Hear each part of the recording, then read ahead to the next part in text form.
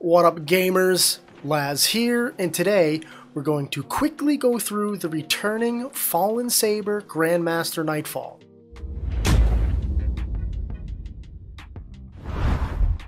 Not much has changed from last season, so let's not waste any time. Warning, my voice isn't feeling too well, so I apologize in advance for that. Almost exactly like last season, for the most consistent clears, we're looking at two Banner Shield Titans with Ursas and a Chaos Reach Warlock with Geomags. Other loadouts will easily work, but again, for consistency, I'm sticking to this loadout again. For weapons, I used a Fatebringer for the Overload champs and a Truth Teller with Blinding Nades for ad control. I also used Anarchy because we might as well use it as much as possible before it gets nerfed. One of my teammates also used a Fatebringer for the overloads, but they also used an Eternal Blazon Scout Rifle to deal with barrier champs. They too also had Anarchy.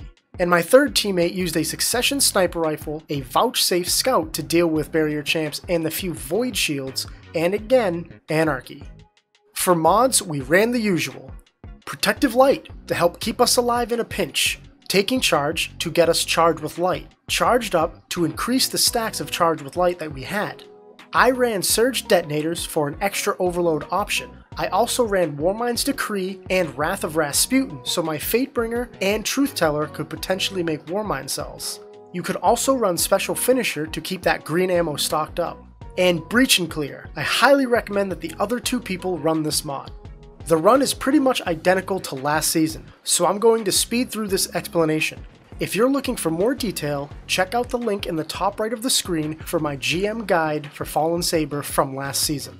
When you spawn in, Sparrow towards the Warsat area, but keep in mind not to get crushed by the Warsat itself. Post up on the cliff in the back of the arena, shoot the cannons off the skiff, and abuse the range of your scout rifles. Personally, I played closer to the ship because I was using a hand cannon. At around 32% on the Warsat, an Overload Champ will spawn, once the ads are clear, stand in the circle until the skiff goes away and two more spawn. Get out of the circle and post up behind the cover right next to you. Shoot off the cannons on the two new skiffs and start clearing the ads. Pop your supers to take out the barrier and the remaining ads, then jump back in the circle until the two skiffs leave. Rinse and repeat this section again, stand on the cliff in the back, abuse your range, deal with the overload that spawns, and then finish out the circle and you're on to the next room.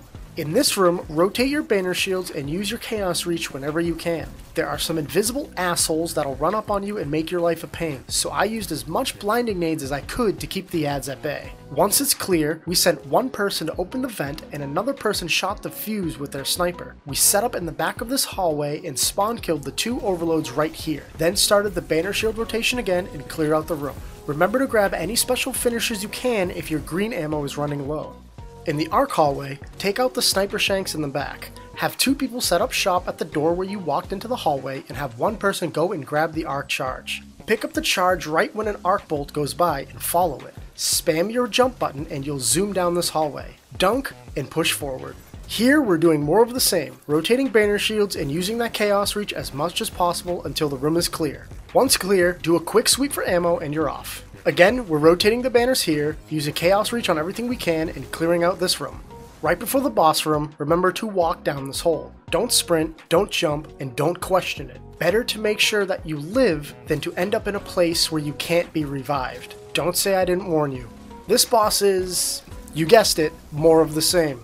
Rotate your banner shields, use chaos on the boss, and clearing out the ads. Once you get the boss to about half health, you can jump over to the left side and use this spot for cover. Once you're ready, hit the boss with Anarchy, pop that meme beam, and throw everything you got until the boss dies. And Fallen Saber is a GG. Don't forget to leave a like if you enjoyed the video, leave a dislike if you didn't enjoy the video, drop a comment below to continue the conversation, insert sub to me comment here, and Laz out.